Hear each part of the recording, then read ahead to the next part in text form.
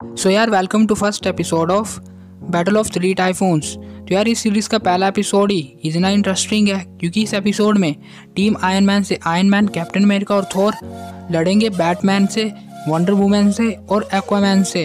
और ये हो सकता है कि मैं इन सब हीरोज़ की सारी पावर्स अच्छी तरीके से एक्सप्लेन नहीं करूँ, क्योंकि इनकी पावर्स अगर हमने सारी एक्सप्लेन की तो बहुत टाइम हो जाएगा। इसलिए हम इनकी मेन पावर्स को ही जानेंगे। और यार, जैसा आप सोच रहे हैं, वैसे ये बैटल नहीं होगा, क्योंकि शायद आप ये सोच रहे होंगे कि आयरन मैन बैटमैन से लड़ेगा थोर वंडर वुमेन से लड़ेगा, और कैप एक्वामैन से लड़ेगा। तो यार, ऐसा कुछ भी नहीं होगा, बल्कि कोई भी करेक्टर किसी से भी लड़ सकता है, क्योंकि ये एक कोलेब्रेशन बैटल है। तो यार चैनल को सब्सक्राइब करके बगल वाले बेल आइकन को दबा दो और चलो मेरे साथ, मेरे स्टूडियो में।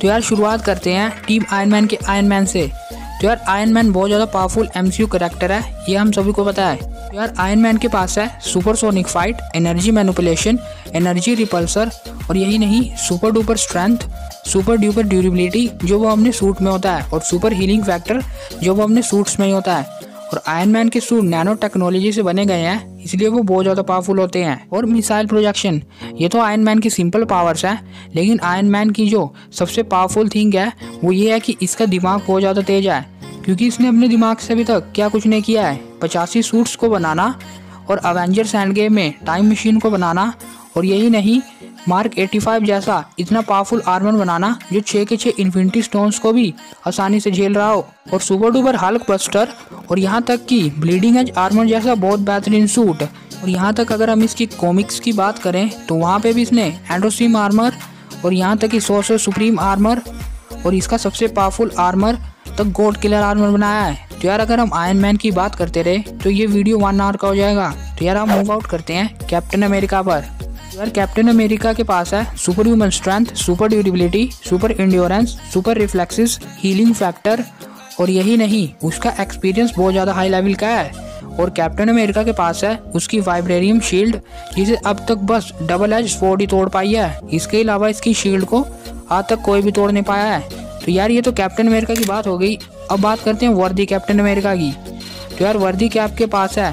थोर की वो सारी की सारी पावर्स जो थोर इस्तेमाल करता है। क्योंकि ओडिन ने जब म्योनिर पे ये मंत्र लगाया था कि जो भी सथोड़े को उठाएगा, उसमें थोर की शक्तियाँ भी आएँगी। तो यार, अब कैप्टन में भी थोर की शक्तियाँ हैं। यानी कि वो thunder manipulation lightning manipulation storm manipulation और भी जितनी भी थोर की पावर्स हैं, वो कैप कर सकता है। तो यार, अब हम आते हैं थोर पे।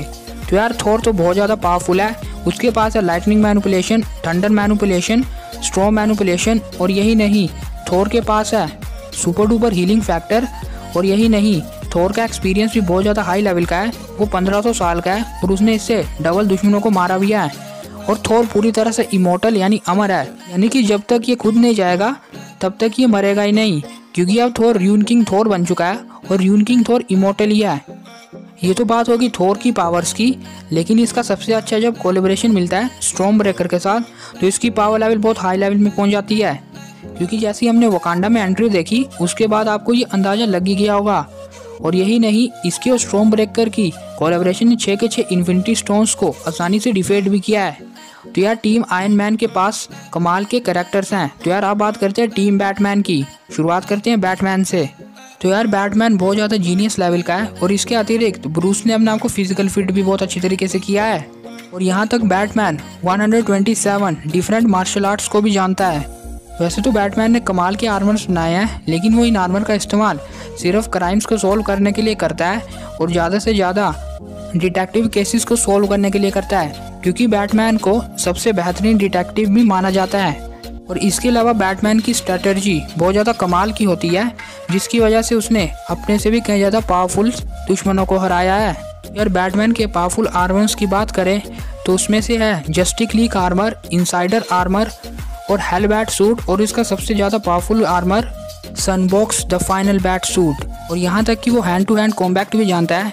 उसके पास इमोटिलिटी भी है और हैंड रिंग भी है। तो यार, अब हम मूव आउट करते हैं वंडर वूमेन पे। तो यार वंडर वुमेन से पहले मैं आपको ये याद दिला दूँ कि ये वीडियो हमने एंटरटेनमेंट पर्पज़ के लिए बनाया है। तो यार, इसीलिए कमेंट में मार्वल और डीसी की फाइट शुरू मत कर देना। तो यार, अब आते हैं daughter of Zeus Wonder Woman पे। तो यार वंडर वुमेन के पास है super duper strength super duper durability और यही नहीं, ऐसे ब्रेसलेट जो लाइटनिंग को काबू करते हैं। उसके पास है कमाल के वेपन्स जैसे lasso of truth god sword shield और यहाँ तक कि सुपर ब्रेसलेट और यार, उसके पास है सुपर डुपर फाइटिंग स्किल और यही नहीं कॉमिक्स में उसके पास गॉड किलर स्वॉर्ड है, लेकिन यहाँ पे ये माना जाता है कि वंडर वुमन खुद ही गॉड किलर है। लेकिन कॉमिक्स में ऐसा नहीं है। कॉमिक्स में उसके पास है गॉड किलर स्वॉर्ड और उसके पास है super speed reflexes enhanced senses और एबिलिटी टू फ़्लाइट तो यार, अब हम मूव आउट करते हैं एक्वामैन पे। यार Aquaman protector of the ocean है और वो आधा ह्यूमन और आधा एटलांटियस है। इसी की वजह से उसके पास कई ज़्यादा एबिलिटीज़ है। एक्वामैन ने एक्वामैन मूवी में एक बड़ी सी शिप को भी लिफ्ट किया है और पानी के नीचे कई ज़्यादा बड़े शैतानों को भी हराया है और पानी के नीचे ये बहुत ज़्यादा तेज स्विम करता है। इसी की वजह से इसके पास है सुपर ह्यूमन स्पीड और सुपर डुपर स्ट्रेंथ। और एक बार मैंटा के साथ लड़ते लड़ते उसने उसके आर्मर को भी डिस्ट्रॉय कर दिया था। और इसकी बॉडी किसी भी तरीके के एक्सप्लोजन्स और बुलेट्स को आसानी से झेल सकती है। उसके पास कमाल का हीलिंग फैक्टर है और सुपर सोनिक बूम है। यार, अगर ट्राइडेंट एक्वामैन के साथ जुड़े तो इसकी पावर्स और ज़्यादा इंक्रीज हो जाती है। और इसकी वजह से वो सेवन्थ सी का मास्टर बन जाता है और इससे वो सी लाइफ को भी कंट्रोल कर सकता है। और इस वेपन से ये लाइटनिंग भी प्रोड्यूस कर सकता है और कॉमिक्स में उसने डार्क साइड और सुपरमैन को भी इससे हर्ट किया है। और यार, इस वेपन से ये अर्थ तक को डिस्ट्रॉय करने का दम रखता है। तो अगर घूम फिर के कहे तो ट्राइडेंट बहुत ज़्यादा पावरफुल है। यार, अब तो कंपैरिजन खत्म हो चुका है, लेकिन अब मेन चीज़ बची है और वो है रिज़ल्ट और रिज़ल्ट मैंने चार पार्ट्स में डिवाइड किया है। Result one on comic basis तो अगर हम कॉमिक के ऊपर बात करें तो यहाँ पे टीम बैटमैन ज़्यादा पावरफुल लग रही है। क्योंकि कॉमिक्स में एक्वामैन और उसके वेपन की पावर बहुत ज़्यादा इंक्रीज है। और यहाँ पे वंडर वूमेन के पास भी गॉड किलर स्वॉर्ड है। तो यहाँ पे कॉमिक के बेसिस पे टीम बैटमैन ज़्यादा आ गया है। रिज़ल्ट नंबर टू और मूवीज़ बेसिस तो अगर मूवीज़ की बेसिस की बात करें तो यहाँ पे टीम आयन मैन ज़्यादा आ गया है। क्योंकि कॉमिक्स के बेसिस पे स्ट्रॉम ब्रेकर की पावर्स इतनी ज़्यादा नहीं है। लेकिन मूवीज़ में वो बायफोस्ट खोलने का दम रखता है? और बायफोस्ट से बड़े बड़े प्लानट भी तबाह हो सकते हैं। तो अगर हम मूवीज़ की बेसिस की बात करें तो यहाँ पे टीम आयन मैन जीतेगी। तो हम बढ़ते हैं रिज़ल्ट थ्री की ओर। तो रिज़ल्ट थ्री और फोर दोनों ही कॉमिक के बेसिस पे भी है और मूवीज़ के बेसिस पे भी है। तो रिज़ल्ट नंबर थ्री में हम टीम बैटमैन को लेंगे और टीम आयन मैन से लड़वाएँगे, पर यहाँ पे एंड गेम वाले थोर के साथ। और अगर ऐसा होता है तो टीम बैटमैन ज़्यादा आगे होगी। हाँ मैं ये मानता हूँ कि थोर की पावर्स इतनी ज़्यादा कम नहीं हुई थी, मोटा होने के बाद भी। लेकिन यहाँ पे उसकी स्पीड और ये हमें मानना ही पड़ेगा कि उसकी कुछ पावर्स तो कम हुई थी और उन छोटे छोटे पॉइंट्स का ही टीम बैटमैन इस्तेमाल कर सकती है। और यहाँ से इजीली तरीके से टीम आयन मैन को हरा भी सकती है। तो हम बात करते हैं रिज़ल्ट फोर की। तो यार, इसमें भी सेम ही बैटल होगा, लेकिन यहाँ पे फैट थोर की जगह स्लिम ड्रीम थोर की बात करेंगे। तो अगर इन्फिनिटी वॉर थोर इसमें आया तो इस मैच का रिज़ल्ट बहुत ही इंटरेस्टिंग होगा, क्योंकि फिर यहाँ पे बहुत ज़्यादा डेंजरस वेपन्स होंगे। क्योंकि एक तरफ़ है बैटमैन का hell bat armour Wonder Woman की गॉड किलर स्वॉर्ड और एक्वामैन का सुपर पावरफुल ट्राइडेंट तो इसके मुकाबले में सामने है सुपर डुपर स्ट्रॉन्ग ब्रेकर जो बाइफोस्ट खोलने का दम रखता है सुपर म्योनीर जिसकी पावर्स अनलिमिटेड होती है। और यहाँ तक कि सबसे powerful the god killer armour लेकिन यहाँ पे टीम आयन मैन ज़्यादा पावरफुल लग रही है।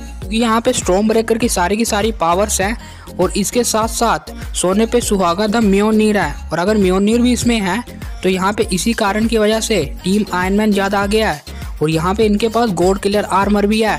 हाँ मैं ये मानता हूँ कि ये मैच काफ़ी लंबा चल सकता है, लेकिन आखिरी में जीत टीम आयन मैन की होगी। तो अगर यहाँ पे मेरे पर्सनल ओपिनियन की बात करें तो कॉमिक के बेसिस पे टीम बैटमैन जीतेगी मूवीज़ के बेसिस पे टीम आयन मैन जीतेगी और कॉमिक और मूवीज़ के बेसिस पे। लेकिन फैट थोर में टीम बैटमैन जीतेगी और कॉमिक और मूवीज़ के बेसिस पे। लेकिन अगर इन्फिनिटी वॉर थोर हो तो यहाँ पे टीम आयन मैन जीतेगी। लेकिन ये तो मेरा पर्सनल ओपिनियन है। आपको क्या लगता है, इन दोनों टीम्स को लेके कि इन दोनों टीम्स में ज़्यादा पावरफुल कौन है? आप हमें कमेंट में ज़रूर शेयर करना, क्योंकि आपका ओपिनियन ही सबसे ज़्यादा ज़रूरी है। यार, अगर वीडियो अच्छी लगी हो तो इसे एक लाइक मार देना और इस वीडियो को खुल के शेयर कर देना। और और भी ऐसे इंटरेस्टिंग वीडियोस को देखने के लिए सब्सक्राइब करें सुपर स्टूडियोज़ को और दबाएँ इस बेल आइकन को ताकि आपको हमारी वीडियोस की नोटिफिकेशन सही टाइम पे मिल सके। और यहाँ पर हमारा बैटल ऑफ़ थ्री टाइफून का फ़र्स्ट एपिसोड खत्म होता है। तो मिलेंगे हम नए किसी फ्रेश एपिसोड में। तब तक के लिए good bye and never forgets it's your super studios and you all are super heroes ten